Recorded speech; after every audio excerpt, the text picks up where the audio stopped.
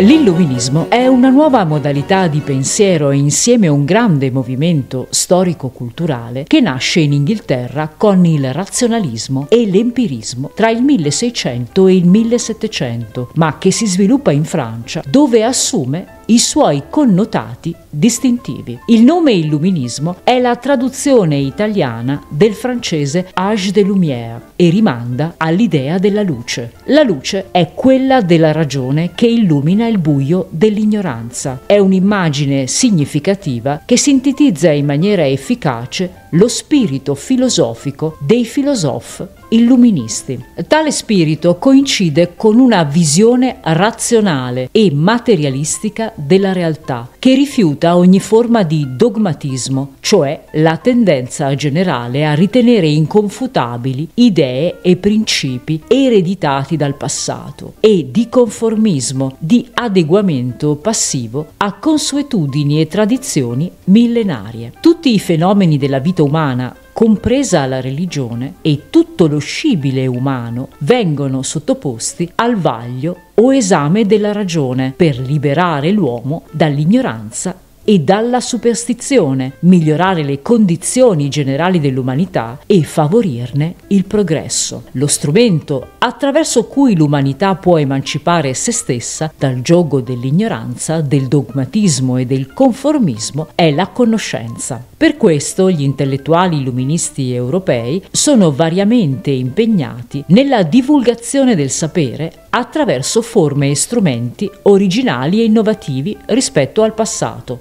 Pensiamo solo all'opera simbolo dell'illuminismo, la monumentale Encyclopédie, i cui ideatori e promotori furono i francesi d'Alembert e Diderot. Non a caso, l'illuminismo prende corpo in Francia e si diffonde in Europa nel Settecento grazie ai filosofi, gli intellettuali dotati di esprit philosophique, di una mente razionale. L'illuminismo è un movimento ideologico-culturale di respiro europeo. L'espressione âge des Lumières, con cui gli intellettuali francesi identificarono l'età della ragione, diventa in Germania Aufklärung, letteralmente illuminazione, chiarimento, in Spagna Illustration, in Inghilterra Enlightenment, in Italia Illuminismo.